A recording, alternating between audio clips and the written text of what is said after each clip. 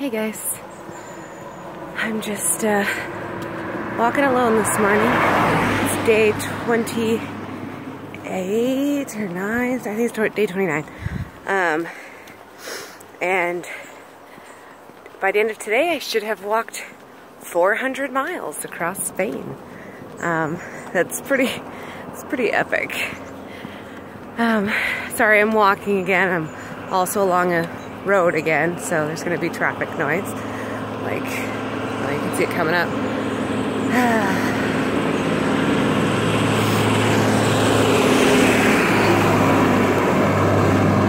but you can see the beginnings of the sunrise behind me. Uh, it's gorgeous out here.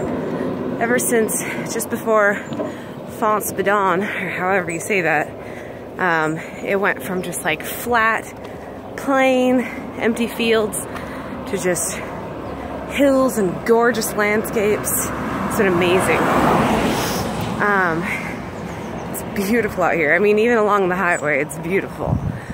Uh, but anyways, I'm really, really enjoying myself out here. I'm having very few moments of like being questioning being out here or even like when some annoying or tough things happen in the beginning. It was like every little thing that went wrong was terrifying because you didn't know if it was going to spiral out of control and make it so it stopped your trip. Um, and it was just everything I found was really overwhelming. And not only that, but like I'm so far away, so and obviously out of my element, so I'm not exactly sure how to go about getting help with various issues. But everybody here is so helpful. Like, it's so funny. I don't even know how many times, like, this second you step off course, someone is there and, like, they'll be driving by and they'll stop. And they'll be like, wait, wait, wait, wait. Not that way. Camino is that way. And um, even just yesterday, Matt and I walked into this town and um, we got up to this bridge and the bridge obviously went two different directions and we were just like looking back and forth and looking back and forth. And we're like, we think it's this way. And we started to walk and we didn't even get 10 steps and someone across the way on their balcony like whistled and waved and we looked up at them and they're like pointing the other direction. We waved and and said thank you and kept going. And I mean, they were pretty far away too. So they had to have been watching us looking back and forth, looking confused, and then waited to see what we did. But, um, but he, people here are so helpful. It's ridiculous. Like you almost don't even, especially I think as Americans, we don't know how to trust it. I mean, now we're used to it, so we do. But it's just, it's so weird how helpful and nice everybody is. I mean, obviously it's nice, but it's so great out here. Like the pilgrims are really nice and helpful whenever we can be for each other. We do everything we can to help one another.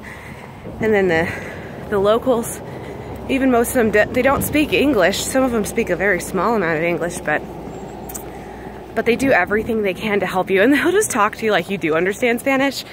And it's hilarious because you're like, uh-huh, or, uh, no entiendo. But they just kind of smile and keep going.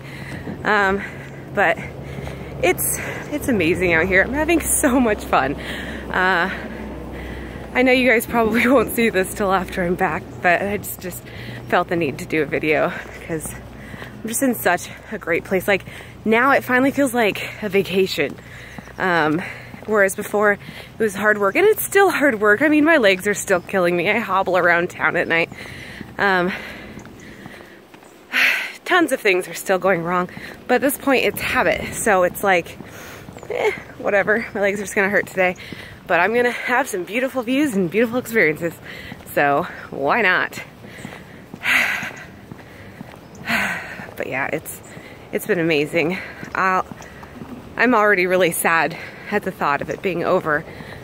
Uh, but I'm trying not to let that get to me because I still have a little over a week and I really want to enjoy it without that sadness being attached to it. Um, but it's been wonderful. I'm having a great time. Buen Camino.